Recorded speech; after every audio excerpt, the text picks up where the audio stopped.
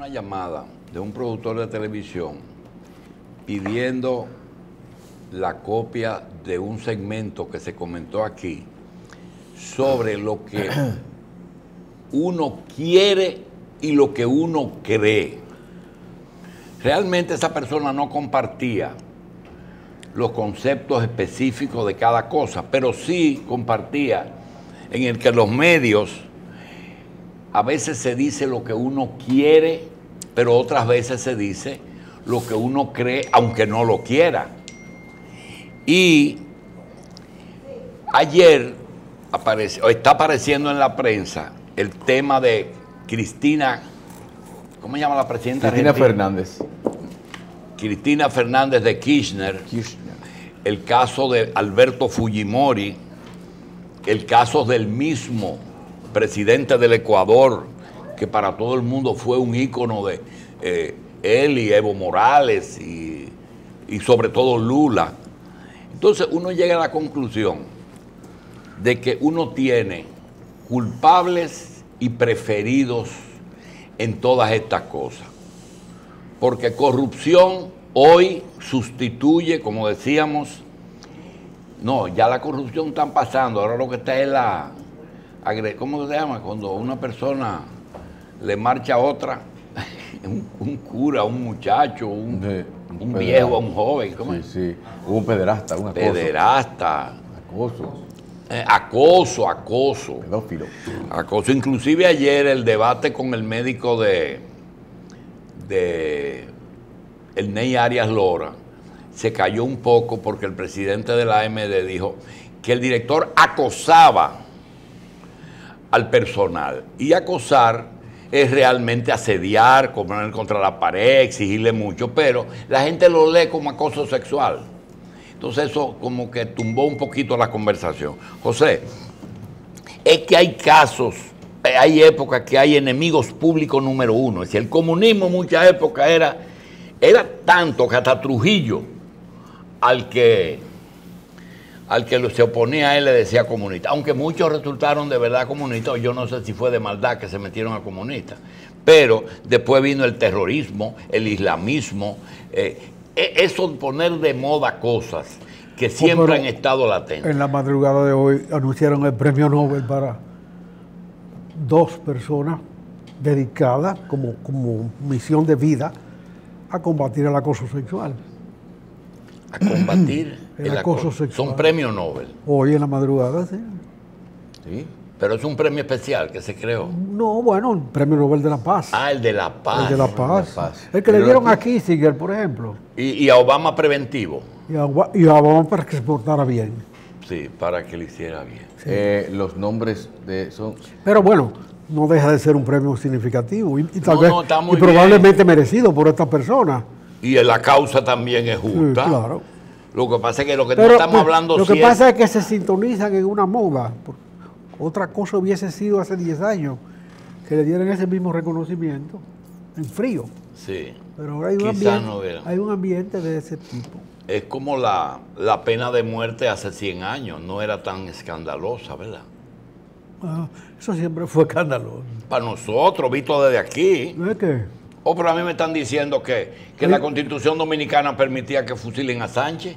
Sí, la constitución no la ley. La- lo que sea. Sí, lo Y la sea. constitución no lo prohibía, claro. Eh, pero bueno, pero Cristo construyó su, su reinado alrededor de la pena de muerte. Fue alrededor de la pena de muerte que se hizo eso. Eso es muy viejo. Es lo que pasa que hizo algo que hizo Buffett. Usted no puede agredir a los judíos porque ellos le pasan la cuenta. José fue y le rompió la bolsa de Jerusalén y se la desbarató. Eso no se puede. Esa era la bolsa de la época. Y fue y la rompió. Usted la va a pagar.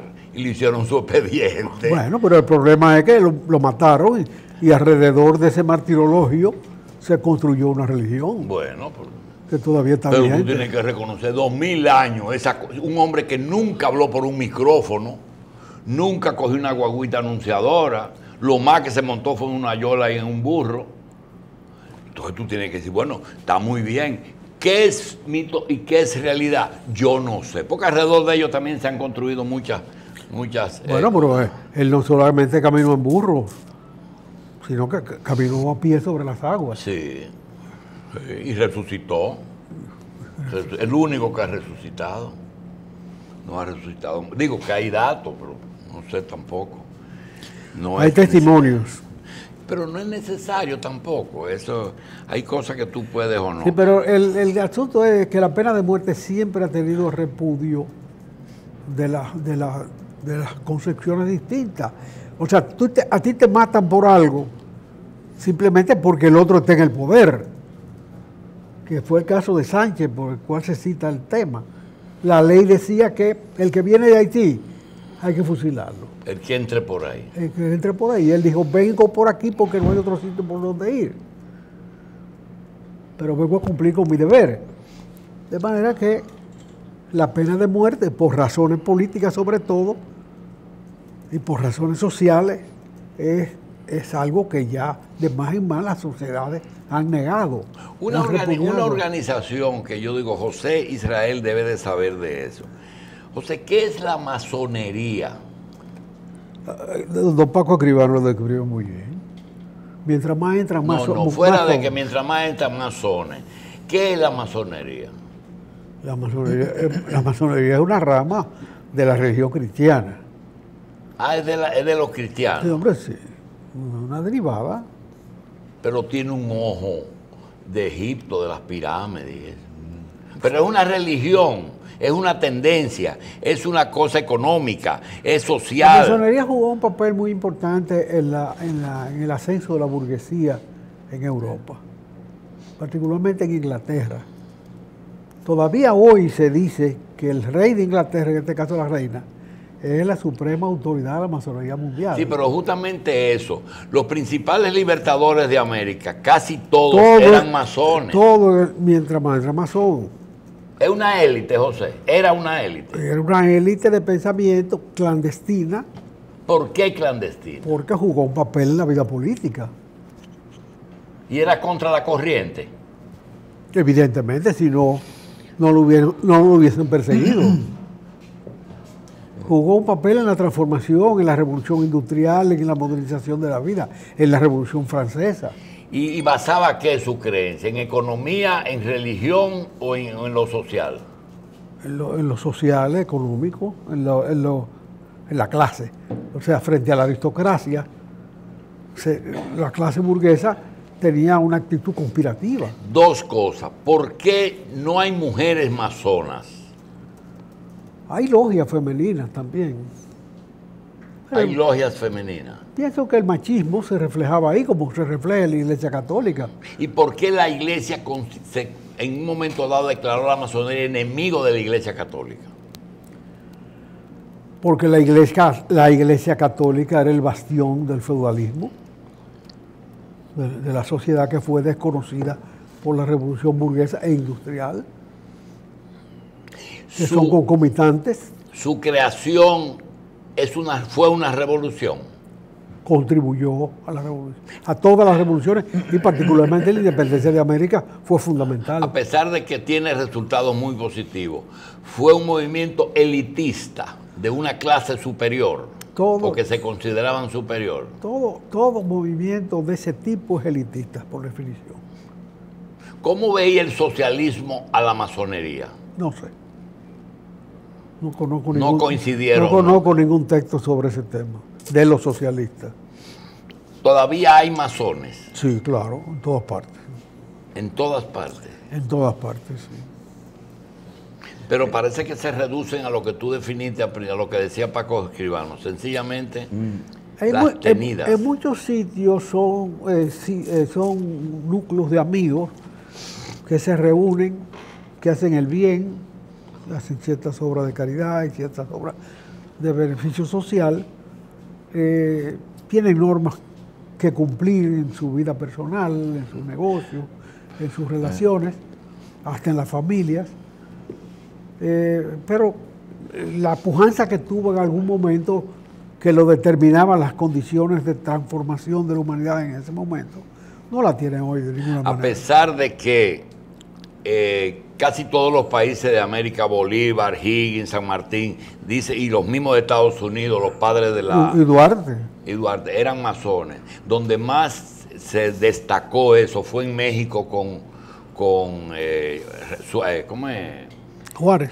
con Juárez, con Benito Juárez, que inclusive proscribió eh, muchas, muchas prácticas de tipos religiosos allá. Le declaró un Estado laico verdadero. Eh, ¿Qué papel tuvo la masonería en México que no tuvo en otros países? No, ¿Se no- puede decir que gobernó en México? Sí, tuvo preeminencia. Normalmente los masones cuando asumen posiciones de poder no divulgan su militancia. ¿Por qué? Es una, una metodología, evidentemente, porque se cumple en muchos sitios. Pero parece que en un momento eran clandestinos porque tenían hasta un saludo que es secreto. Una seña. Sí, en la mano, se hacían una musaraña y de una mano. Se un sigue- apretón especial. Se sigue haciendo. ¿eh? Ajá. Sí. Bueno. José, el, el declarar no oficialmente una campaña tan temprano, ¿tú crees que va a tener efectos positivos o negativos? Porque Estoy viendo algunos datos, por ejemplo, que aquí la gente no sabe quién es el líder de la oposición, la gente no sabe si el presidente va o no va. Eh, en- Eso pasa en todas las campañas, cada cuatro años la misma cosa.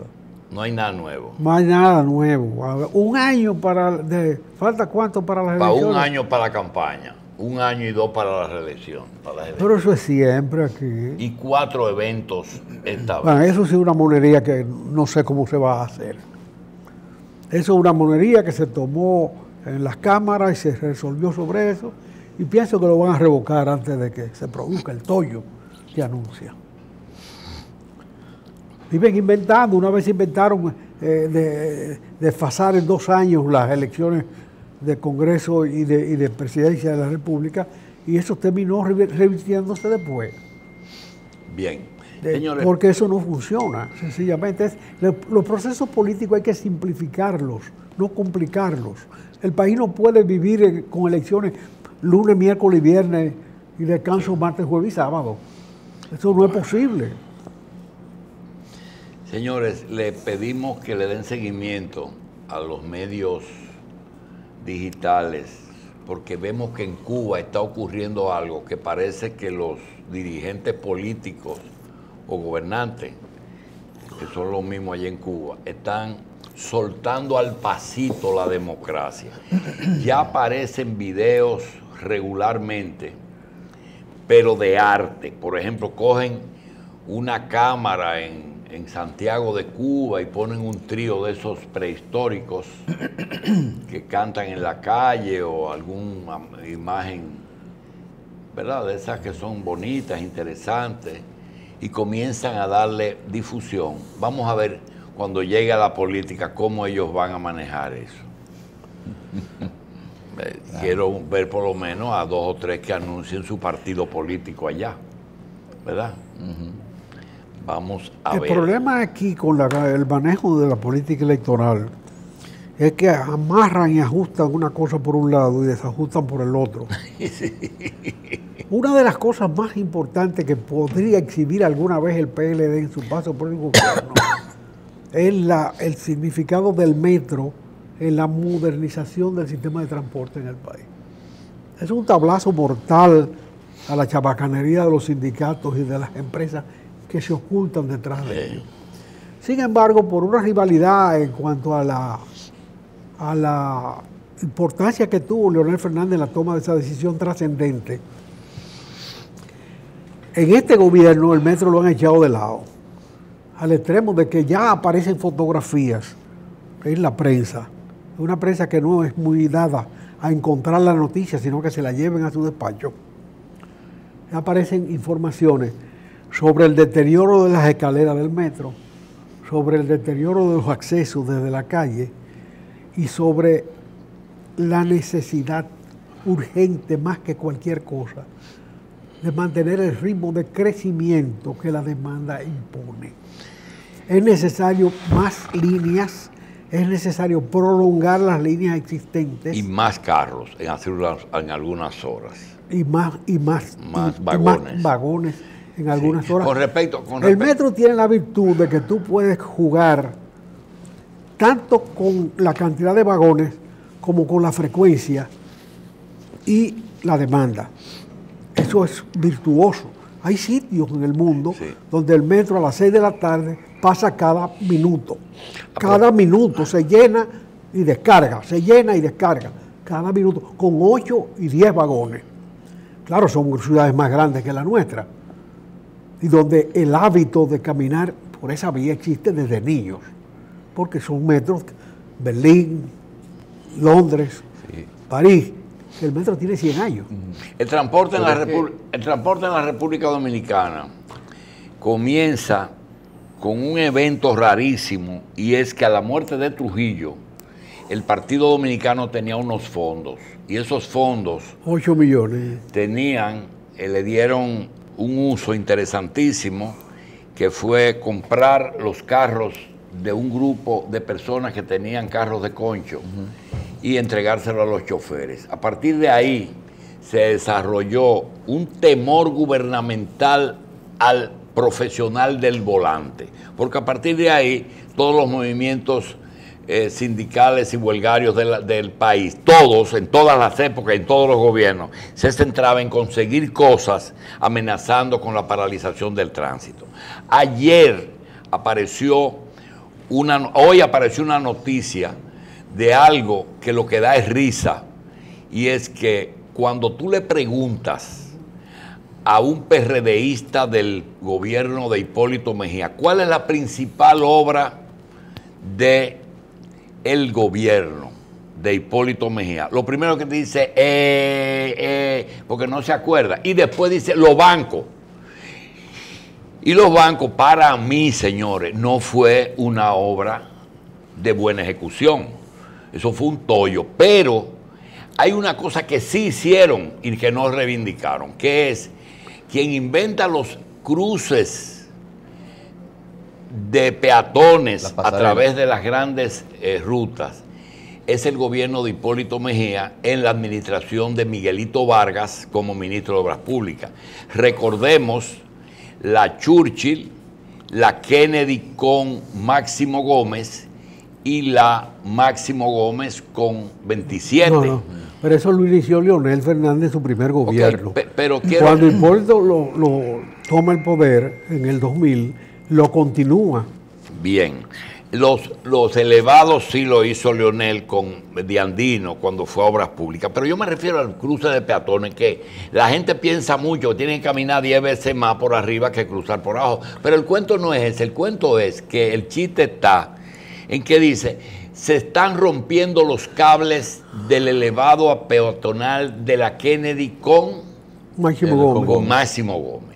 Ahí hay un periódico que lo tiene. El cable se ve- Cuando Miguel Vargas dijo el discurso de inauguración de ese elevado, dijo, señores, estamos sentando un precedente con un elevado enorme que va a ser, que yo, ok, de datos, pero lo más importante y por coincidencia que tiene es que tiene forma de H, De Hipólito. de Hipólito Mejía. Y los cables de Hipólito también se están rompiendo. Ay, Dios. Porque ayer estábamos yendo a Abinader. Y Abinader, yo te voy a decir una cosa. eh, yo no estoy de acuerdo con nada de lo que él está diciendo, pero él tiene algo que propone concreto, ¿verdad? Distinto a otra gente que andan por ahí diciendo cosas. Solamente. Sí, sol- concreto, él tiene una fábrica de... Perdóneme. Él tiene una fábrica de cemento, lo concreto. Concreto, sí. Concreto. De todas formas, vamos Mira a. ahí el H de Hipólito. Mira ahí el H de Hipólito. Pero tú terminaste la, la idea.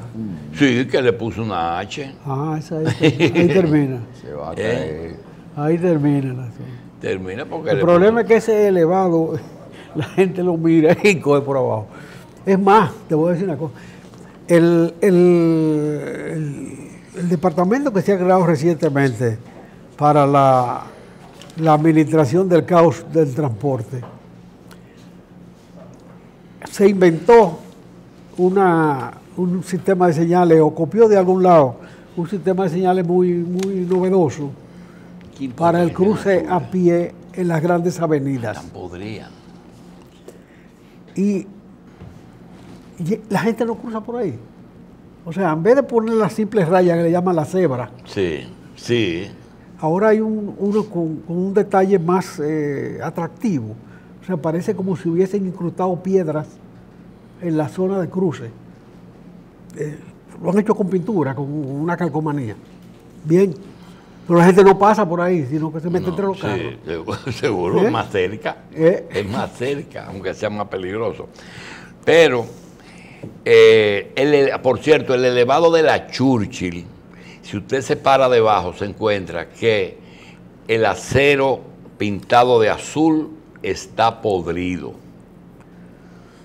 Hay que darle mantenimiento. ¿Eh? Hay que darle mantenimiento. Está podrido. Vamos entonces a hacer una pausa y regresamos. Todos esos elevados que se hicieron para cruces de peatones jamás han recibido una hora de mantenimiento. Una hora de mantenimiento. Ni los puentes tampoco. No, no, me refiero a los, esos elevados para cruces de peatones. Bien, señores. Nunca lo han mantenido.